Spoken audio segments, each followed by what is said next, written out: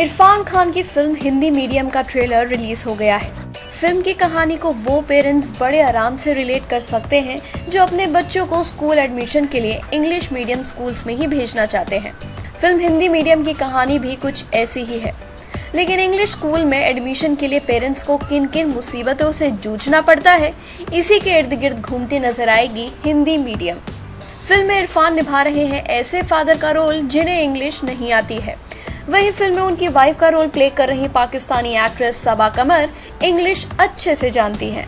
और वो चाहती हैं कि उनकी बेटी को एक अच्छे इंग्लिश मीडियम स्कूल में एडमिशन मिले। अब चाहे इसके लिए उन्हें झूठ बोलना पड़े या फिर धोखा देना पड़े। ट्रेलर में इरफान की comic timing is just super not to forget actor Deepak Dobriyal जो फ़िल्म में एक इम्पोर्टेंट रोल में नज़र आएँगे। फ़िल्म को डायरेक्ट किया है साकेत चौधरी ने और प्रोड्यूस किया है दिनेश, विजान, भूषण कुमार और कृष्णा कुमार ने। फ़िल्म के ट्रेलर को काफ़ी पसंद किया जा रहा है, खासकर इरफान और सबा की केमिस्ट्री को।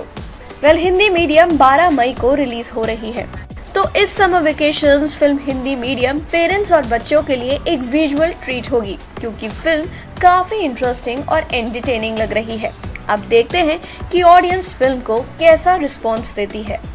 बॉलीवुड की लेटेस्ट गपशप न्यूज़ और स्कूप्स के लिए सब्सक्राइब आवर चैनल नाउ